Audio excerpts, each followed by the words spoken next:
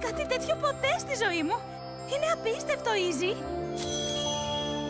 Τι είναι; Λέγεται στραφτάνθηση. Κάθε εποχή του φεγγαριού για μια εβδομάδα, τα φυτά και όλα τα άλλα σε αυτή τη μεριά του Bridalwood ξεσαλώνουν και λαμπυρίζουν. Δηλαδή δεν είναι κάποιο ξόρχι των μονόκερων, απλώς ένα φυσικό φαινόμενο.